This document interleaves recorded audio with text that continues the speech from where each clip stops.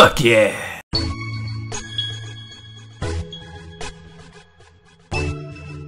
What is up, everybody? Mr. Raven here, bringing you a giveaway and my Aviators WTF Paradise 2.0 map release. Yes! The second town is now finished in Aviators WTF Paradise and is now available for download. The link is the very first link in the description. Go download it now, and I'm going to show you everything that has been added to this map since the last update, and the giveaway will be at the end of this video, so please watch the whole video and wait for the fan appreciation giveaway. Okay, so let's get started. So in the first town, which most of you probably have explored a little bit, we've added three new Easter eggs that I'm not even going to go into where they could be, but they're anywhere in the first town. Uh, we also had Haunt add his little character here, and he's sitting there all nicely on the mountain, like, this is my mountain, and that's my NPC sucking my dick.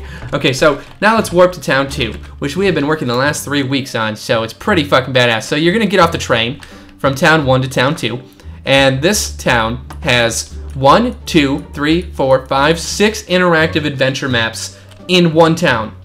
So you don't have to download six different maps to have six different adventures. So let me go into what this town all includes. So the first thing is a, a game that Haunt made up called Hide and Go Gortame. It's basically a hide and go seek maze game where the person that's it waits outside the maze for 30 seconds and comes into the maze in F1 mode so they can't see the player's names through the maze.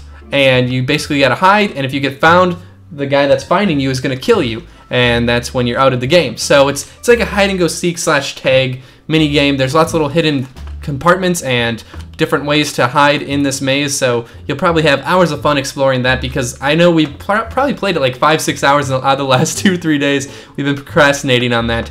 Okay, and now this, this jail was made by Big Mac. This is a prison. It's completely interactive. It's fucking awesome. If you want to shoot machinimas or anything, this is the place to go, especially if you want to do something with an interactive jail. Now, we have 1v1 PvP in here, and it's kind of gladiator based. You both enter. There's no way to get out unless you kill the other man. Uh, there's redstone pistons that push the people up when they're ready to compete. And now, I have a few pride and joys that I'm going to say for the very end. This is the Hunger Games, and that is my PvP arena. So first we're going to show you the Spleef, and we'll save the best two for last. So this is Pyramid Spleef, and uh, it's a two-level uh, Spleef. So this isn't the only level. There's one more right below it, and if you fall through both, you hit... Oh, somebody broke this. You hit lava down there. And uh, it's really badass. We, we've actually played it quite a few times already. Uh, we never get bored of playing in our own adventures. I don't know why.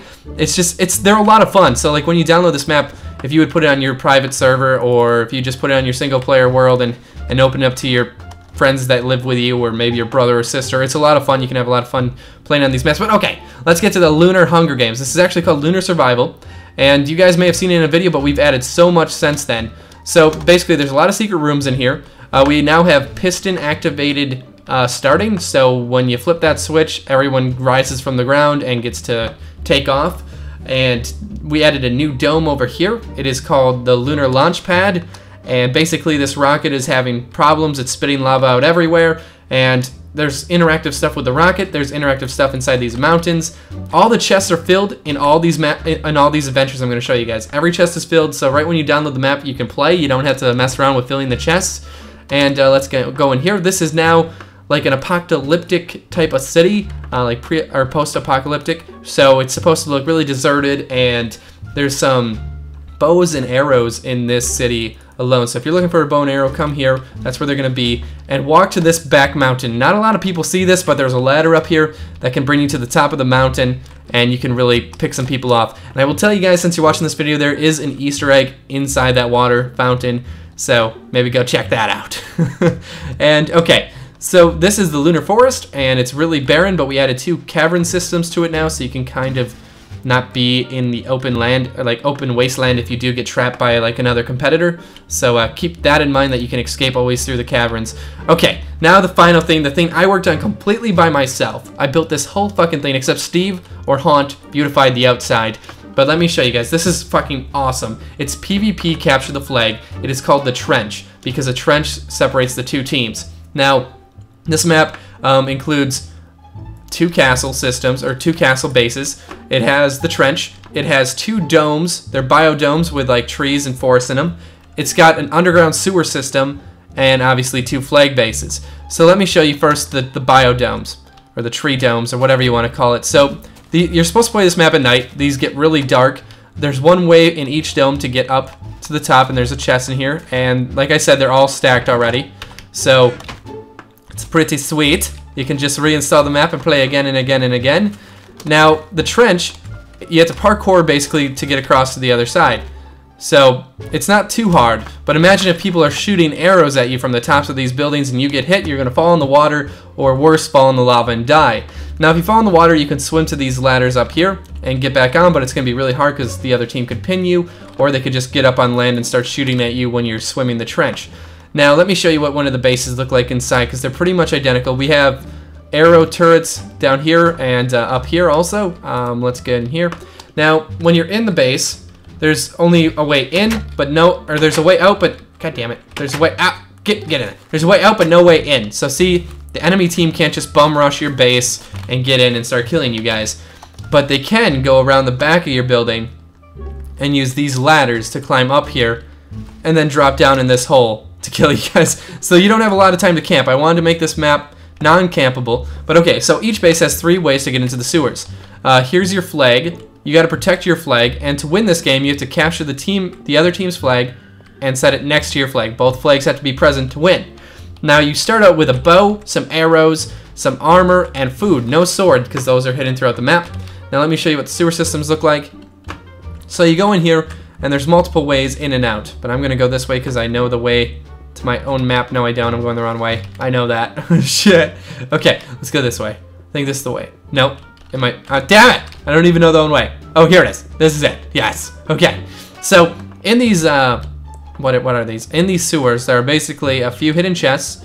Um, this red wool means you're at the halfway point. As you can see, the blocks change. Now I'm on enemy territory. I just crossed the trench, and now you know you're in unfriendly territory, and there could be enemies down any corner and any corridor. So you got to be really careful. But once you get into the enemy base, there's three ways to get in. So you can take whatever alleyway looks most promising and you can come and take the flag and take back to your base. So yeah, um, there's a whole bunch of hidden chests, like I said. There's a whole bunch of cool items hidden around here. Uh, there's even chests inside some of these tall trees. And this map is always being updated, you guys, but this is the second update. Please go download it. Like I said, it's the very first link down below.